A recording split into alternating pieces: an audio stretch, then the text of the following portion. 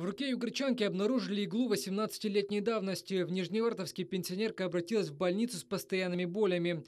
Она консультировалась и с ревматологом, и с хирургом, и с травматологом. Определить причину недомогания помогло самое простое исследование – рентгенография. Выяснилось, что в кисти левой руки пациентки закапсулировались несколько частей иглы. Она удачно легла и никак не нарушала функционирование руки пациентки, прокомментировал случай врач-рентгенолог городской поликлиники.